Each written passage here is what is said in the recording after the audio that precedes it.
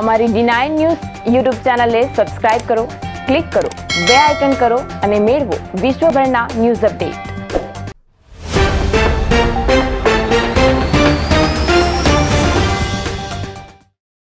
Big બી સંચાલિત કોન બનેગા? કરોડપતિ જેવા TV શોની પોપ્યુલારિટી અને અમિતાભ બચ્ચન સામે બેસવા સાથે તેના સવાલોના જવાબ આપવા અનેક લોકો ઈચ્છા કરતા હોય છે. પરંતુ કરોડોમાં કોઈક જ તેમાં નસીબદાર સાબિત થતા હોય છે.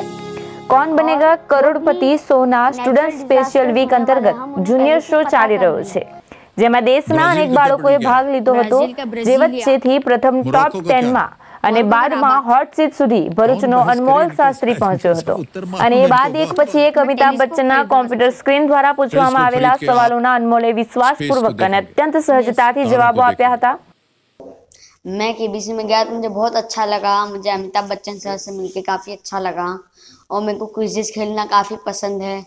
तो मैं केबीसी में गया और वहाँ पे जाके क्विज खेला तो मुझे काफ़ी अच्छा लगा। अभी आगे का प्लान क्या है? आ, मेरा आगे का प्लान है। अभी तो मैं सोच रहा हूँ कि मैं एक एस्ट्रोफिजिसिस्ट बनूँ। या आप बोल सकते हो स्पेस साइंटिस्ट क्योंकि मुझे फिजिक्स मैथ्स में काफ़ी रुचि है और उसके साथ साथ मुझे जोग्राफी सब्जेक्ट भी पसंद है। तो अभी तो मुझे एस्ट्रोफिजिसिस्ट ही बनना है। आपकी इच्छा ये भी है कि नोबेल प्राइज लेना हाँ। तो उसके लिए आप क्या करेंगे?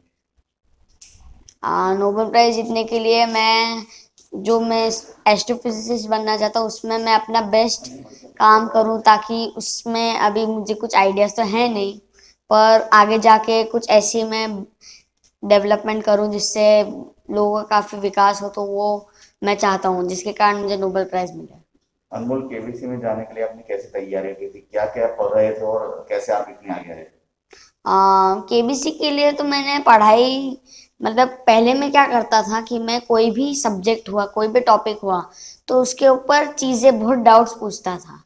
फिर वो डाउट्स के ऊपर मैं चीज़ें सर्च करता था तो सर्च करते करते मेरे को सर्च करना काफ़ी पसंद है।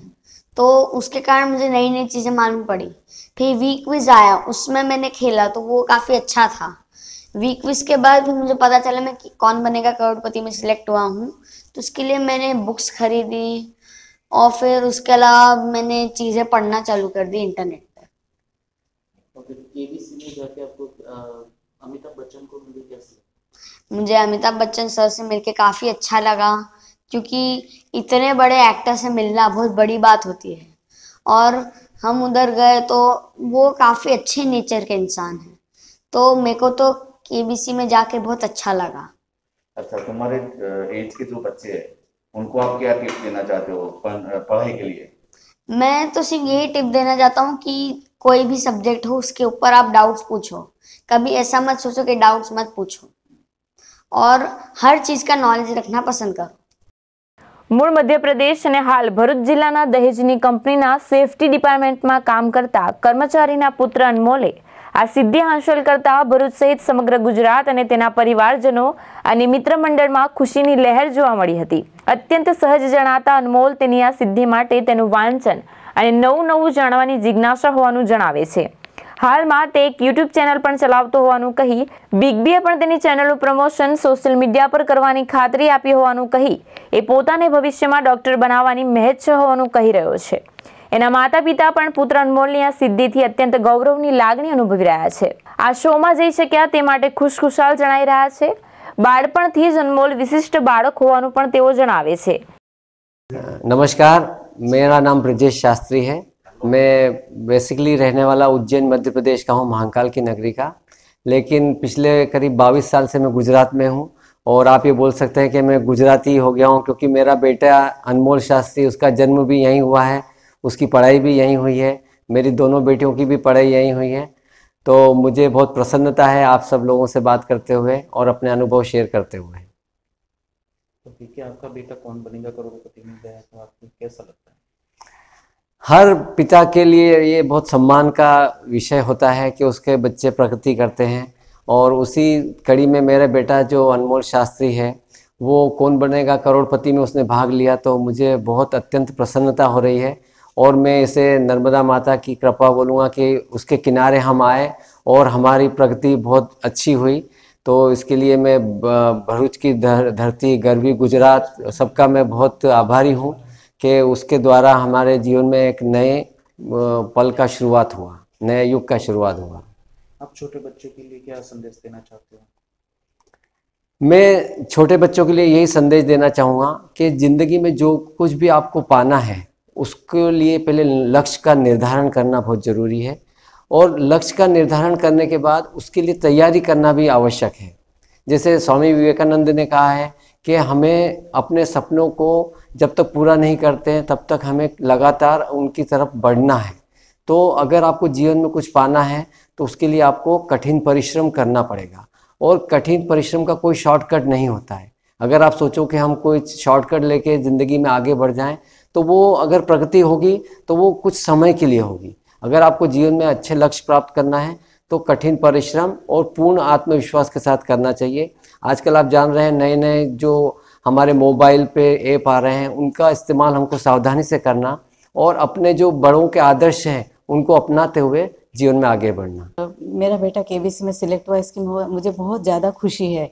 और वहाँ जाके मतलब इतना अच्छा अनुभव रहा कि मैं उस, उसको मतलब बताने के लिए शब्द कम पड़ रहे हैं मेरे पास, क्योंकि सदी के महानायक के सामने जाके बैठना ये भी बहुत बड़ी उपलब्धि है।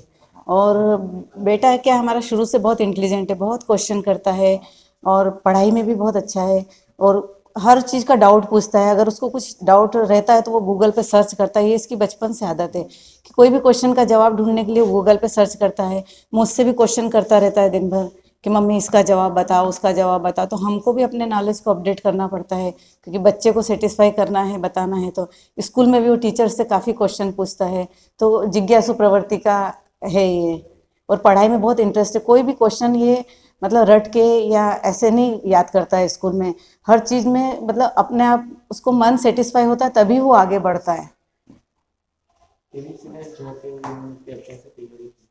आ, ये तो एक दिन का नॉलेज नहीं है ये इसको शुरू से मतलब आदत है कि जनरल नॉलेज जीके वगैरह सब पढ़ने का क्योंकि एक दिन के नॉलेज से तो बच्चा वहाँ पहुँच नहीं सकता है। तो इसका नॉलेज काफ़ी करंट अफेयर पढ़ता है रोज़ की न्यूज़ पढ़ता है गूगल पे और जीके वगैरह पढ़ता है डिस्कवरी चैनल देखता है।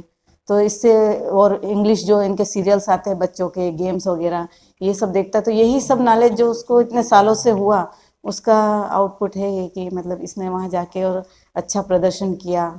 कई माँ बाप बच्चों को मोबाइल देने के लिए उसके लिए क्या कहना चाहते हैं मोबाइल वैसे बच्चों को देना नहीं चाहिए। और अगर हम देते हैं तो ये एक माँ का फ़र्ज़ होता है कि बच्चे पे ध्यान रखे कि वो बच्चा मोबाइल का यूज़ किस तरह से कर रहा है। अगर वह अच्छी तरीके से बच्चे मोबाइल का यूज़ करता है नॉलेज बढ़ाने के लिए सही डायरेक्शन में मोबाइल का यूज़ करता है तब तो बच्चे को देना चाहिए। अगर वो मोबाइल का यूज़ गलत तरीके से करता है जिससे उसका फ्यूचर खराब हो सकता है तो फिर बच्चे को मोबाइल नहीं देना चाहिए। क्योंकि माँ का ही फर्ज होता है दिन भर माँ ही बच्चे के साथ रहती है तो ये एक मदर का होना चाहिए फर्ज અનમોલ શાસ્ત્રીએ આ શોમાં પચીસ લાખની રકમનો વિજેતા બન્યો હતો તેમજ પચાસ લાખ માટે પૂછવામાં આવેલ એક સવાલનો અનમોલ પાસે યોગ્ય ઉત્તર ન હોવાના કારણે તેણે ગેમ છોડી હતી જો કે અનમોલ શાસ્ત્રીની આટલી નાની વયની ઉંમરમાં આટલા અનુભવી સવાલોના જવાબો આપવાની સિદ્ધિને લોકોએ ચારે તરફ પ્રશંસા કરી હતી અને શુભેચ્છાઓ પણ પાઠવી હતી સચિન પટેલ ડીનાઈ ન્યૂઝ ભરૂચ.